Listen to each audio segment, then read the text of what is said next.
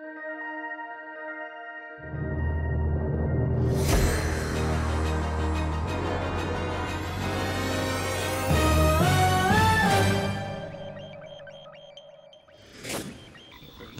my name is Emily Modde, and I am a producer for the Spore Creature Creator. Today I'm going to tell you a little bit about the test drive mode. Uh, the test drive mode allows you to share your creature with your friends and try him out a little bit. First thing you're going to want to do is to turn your camera around or have control of your camera, and you can do that by right mouse clicking and dragging the mouse. You'll also want to be able to move him around in the play arena. And you can do that by left mouse clicking anywhere in that arena. You'll also want to be able to move him around and give him some action. So if you've moved the camera, you can tell him to look at you, so get his attention. And then you can try out the various um, animations that we've provided. Here we have dance animations and a few emotions. You're scared. The next thing you can do is give him some baby friends. Very cute.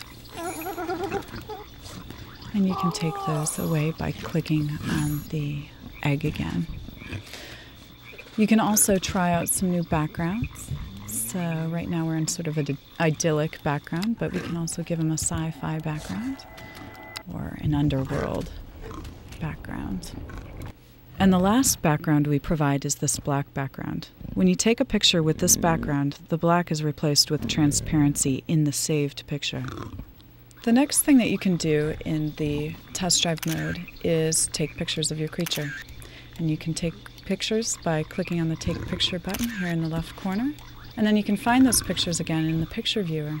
Um, by clicking on any of the pictures once, it'll pull up an email a friend mode. And this is where you can add your recipient's email address, and then you can add whatever message you like. Click the send email button, and off your postcard goes. The next thing that you can do is record movies. By clicking on the record movie button, it'll begin recording a movie. And we can move this around, and then clicking on it again will stop the recording. This will then bring up a, a dialog box that allows you to upload to YouTube. Now, the important thing to remember here is you must have a Spore account and you must have a YouTube account to upload to YouTube. Click the upload button, add in your YouTube login and your YouTube password, and off you go. And then type whatever message you like, but remember to keep the YouTube URL intact. So then click the send email button and off it goes. The last thing you can do in the Spore Creature Creator test drive mode is capture an animated avatar. You do that by clicking this button. The capture animated avatar button allows you to capture short animation clips of your creature, and then these animated GIFs can be posted as an avatar on the website. So just click on that once, and you'll see a little animation play, and then it'll pop up a box that will let you know where that animated avatar is, is saved to.